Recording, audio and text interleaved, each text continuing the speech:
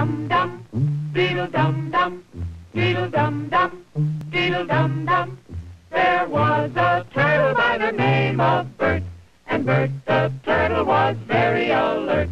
When danger threatened him, he never got hurt. He knew just what to do.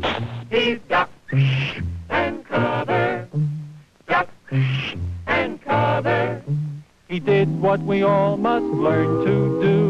You And you and you And you duck and cover. Be sure and remember what Bert the Turtle just did, friends, because every one of us must remember to do the same thing. That's what this film is all about. Duck and cover. It looks something like this.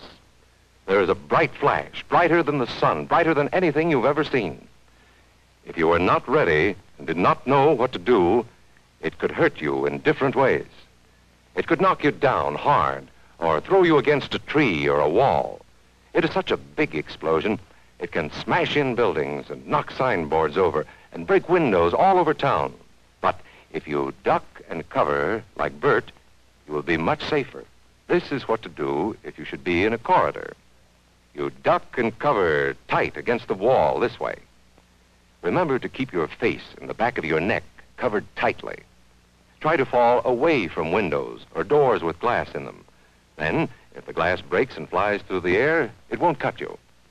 Duck and cover under the table. Then, if the explosion makes anything in the room fall down, it can't fall on you. It's a bomb. Duck and cover. Here's Tony going to his Cub Scout meeting. Tony knows the bomb can explode any time of the year, day or night. He is ready for it. Duck and cover.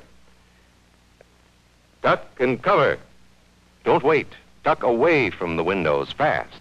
We must be ready every day, all the time, to do the right thing if the atomic bomb explodes. Duck and cover. This family knows what to do. Duck and cover. That's the first thing to do.